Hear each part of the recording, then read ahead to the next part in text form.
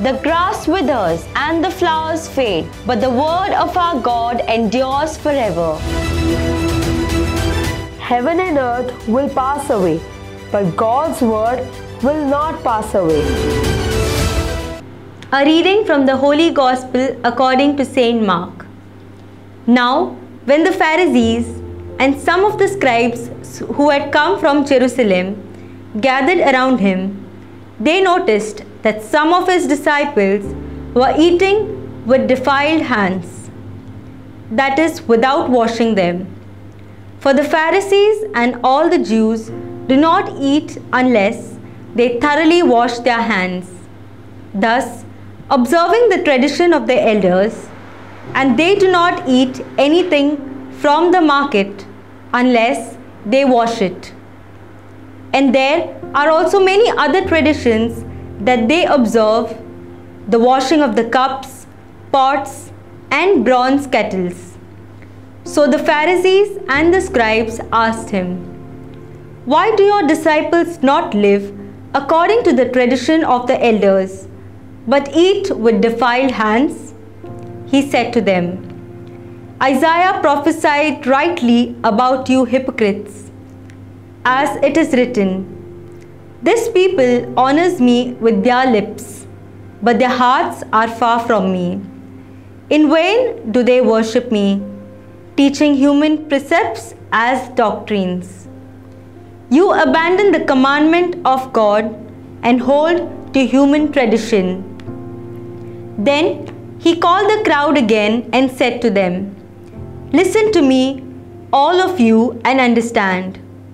There is nothing outside a person that by going in can defile, but the things that come out are what defile.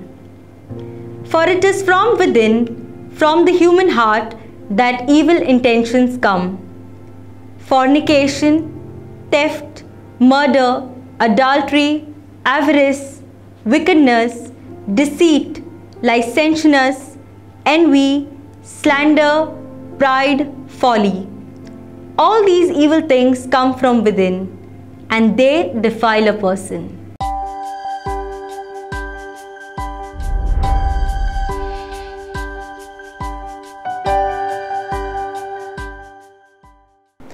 My dear sisters and brothers, the readings of today's Sunday, the 22nd Sunday of the ordinary year, invites us to be the doers of the word and not merely the hearers of the word.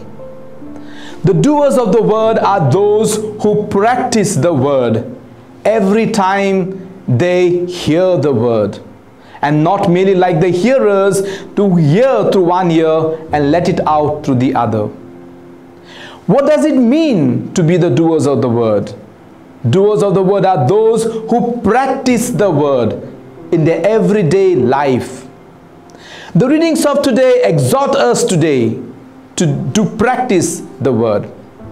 In the first reading, Moses exhorts the people of Israelites, telling them that you are to obey the commandments of the Lord and follow the precepts that the Lord has given.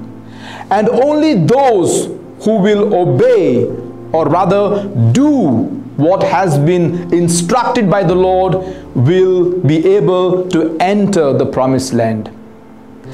In the second reading from the book of James, James tells us that we are called to do the word every time we hear the word. And he further tells us that doing the word invites us or calls us to reach out to others. And finally, in the gospel, we have Mark reminds us that we are called to put the word of God above everything especially above traditions, customs, and obligations. A Christian faith, my dear sisters and brothers, is not about fulfilling obli obligations. It about, it's about doing the Word of God. And what does the doing the Word of God invites us? What does it invite us to do? To love. To love. Because the Word of God, although contained in the Holy Scriptures, in many chapters, many books, everything can be just summed up with one word love. John's Gospel 3:16 says, God sent his only son because he loved the world. And the Old Testament is preparing the path, the way of the Son, and the New Testament presents to us the life of the Son. So, my dear sisters and brothers, if we are to do the Word of God, then we are to love. Jesus himself says, the scripture itself tells us that God is not pleased by the sacrifices, but is pleased by the mercy. We are called to be merciful and compassionate, and that's the way we do the Word of God. And my dear sisters and brothers, doing the Word of God, we don't have to run around to search for the place. We get multiple opportunities to do the Word, to practice the Word, to apply the Word to our life, and to live it out. Are you a doctor? You are called to do the word by being merciful and compassionate towards your patient, to take care of them, not because of what you get out of it, but rather what you can give in service. Are you a lawyer? You are called to work towards justice, provide justice to the person, not make white or black and black white for the sake of money. That is not doing the word of God. That is going against the word of God. Are you a teacher? You are called not just to teach the lessons that are found in the books, but to teach the values. Values that will make a person, person that pleases God and pleases one another. Are you a parent? Be an example to your children. Teach them by your life what it means to love. And my dear sisters and brothers, as someone has said, charity begins at home. We begin this doing at home first, loving our very own. If we cannot love our own, it will be hard for us to love an outsider. And so this Sunday exhorts each one of us to love. Love that is concretely expressed in service towards others. St. James, in some other section of his letter, says, Anybody who says, I have faith, and if that faith is not concretely translated in service towards the least, the lost and the forgotten, that is a dead faith. And so faith is seen in our love, and love is seen in our service. Because Jesus gave us that love in service. And the beautiful act of Jesus is washing the feet. I have come so that I may serve my love implies that I reach out to others, to as many as I can in service of the others. And so, my dear sisters and brothers, the scripture of today invites us to be the doers of the word and not merely hearers. You hear the word in many places. You go for the mass, you go for retreats, you do a lot of other spiritual exercises.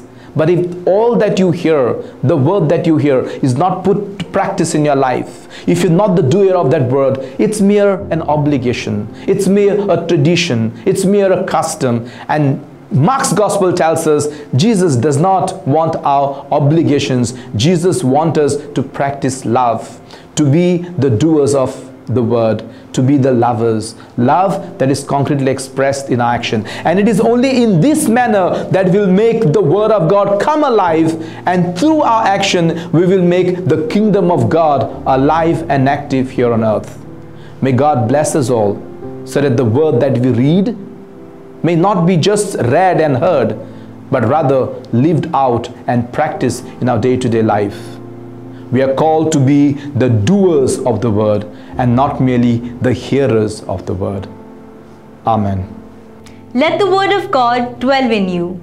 Join us every Friday to store up God's word in your heart.